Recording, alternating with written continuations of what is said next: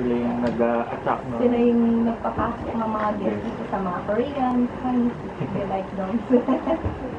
Any more question, guys?